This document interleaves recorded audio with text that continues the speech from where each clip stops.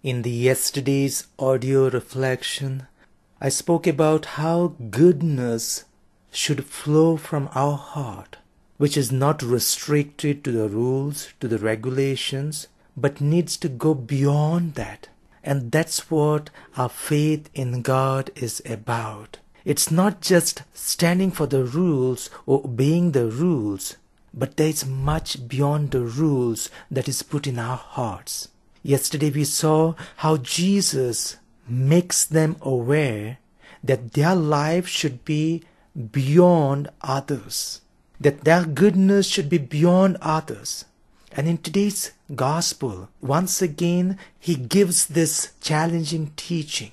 Jesus wasn't interested to make you an ordinary person. He was interested to make you the best person the best of the human virtues embossed in you.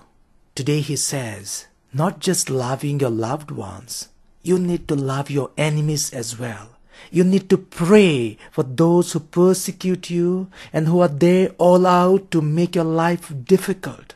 Now to get into that stage, that very difficult stage, we need to make the habit of constantly doing good of constantly reaching out to our loved ones, being nice to them. Then, at the second level, it would be to the people we don't know. Just reaching out. Check this other video that is being posted from the news clip.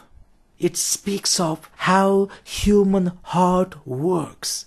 How there is something godly in our human heart that makes us to reach out to someone we don't know.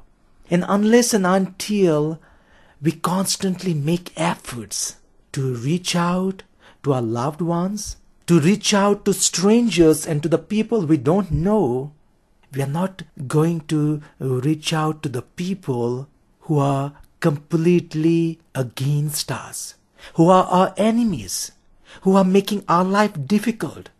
Those are the gradual changes. It's like if you don't go that one mile, you can't go beyond. And the teachings of Jesus are constantly pushing us for that beyond. And in order to get that beyond easygoing in our lives, we need to constantly try these easy ones first. And Jesus says, if you love only those who love you, if you greet only those who greet you, what good is there in you in comparison to others? Or how much better you are in comparison to others.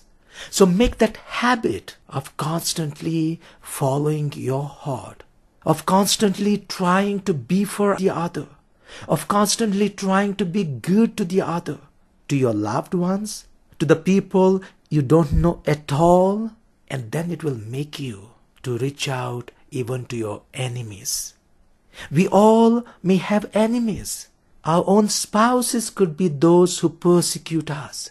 Maybe someone from our family who makes our life difficult. Have you ever prayed for them? We know, we understand that they are the cause of our difficult journey. But did you give any time to pray for them? Or how much do you remember them in your prayer every day? So if you are not praying for them to be good, to overcome their evil, how would they be good? And Jesus gives the example of the sun. As the sun gives light to everybody, to the good and bad alike, he asks us, be like God, who is good to everybody. Whether someone is good or someone is bad, his love is toward everyone. To reach out to others, it is difficult. It cannot happen unless and until we practice. We need to constantly practice it in our lives in order to reach that stage which Jesus asks of us today.